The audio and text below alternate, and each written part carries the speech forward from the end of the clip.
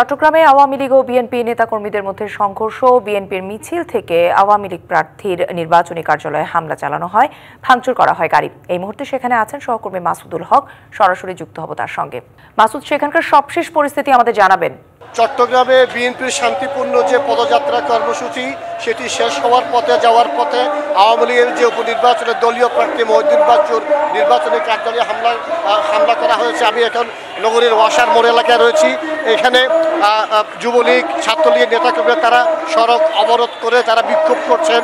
আসলে তারা আমাদেরকে অভিযোগ করেছেন। আজকে কিন্তু দুপুরের দুপুরের পর থেকে কিন্তু নগর বিএনপির দলীয় কার্যালয়ে তাদের কেন্দ্রীয় কর্মসূচির অংশ হিসাবে পদযাত্রা কর্মসূচি ছিল। সেই সেই কর্মসূচি শেষ হওয়ার পরে তাদের একটি অংশ এই লালখান বাজার ওয়াসার মোড় দিয়ে যাওয়ার পরে তারা এখানে হামলা চালায়। আপনারা দেখছেন তারা বেশ কয়েকটি গাড়ি ভাঙচুর করেছে। প্রায় আট থেকে দশটি তারা প্রাইভেট কার এবং গাড়ি ভাঙচুর করেছে। এছাড়া দলীয় দলীয় দলীয় কার্যালয়ের সামনে একটু দেখা যেতে চাই দলীয় কার্যালয়ের সামনে বেশ কয়েকটি মোটর সাইকেল তারা কিন্তু ভাঙচুর করেছে।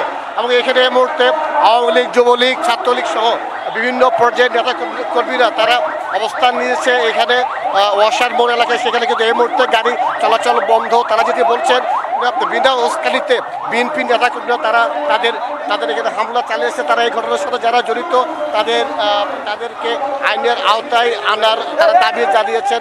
একটু দেখাতে চাই আপনারা, যদি একটু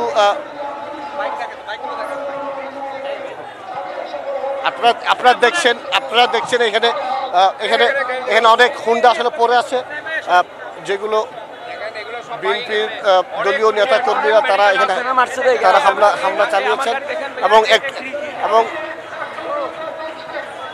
যেমনটি যেমনটি যেমনটি বলছিলাম আসলে যারা হামলা করেছে তাদের এখনও পরিচয় পাওয়া যায়নি। তবে এখানে যারা যুবলীগ নেতাকর্মী তারা জানিয়েছেন তারা বিএনপি নেতাকর্মী তারা আমাকে জানিয়েছেন। তো এ ছিল আমার কাছে চট্টগ্রাম থেকে খবরাখবর। মাসুদ ধন্যবাদ। সরাসরি যুক্ত হয়ে সেখানকার সবশেষ খবর জানাচ্ছিলেন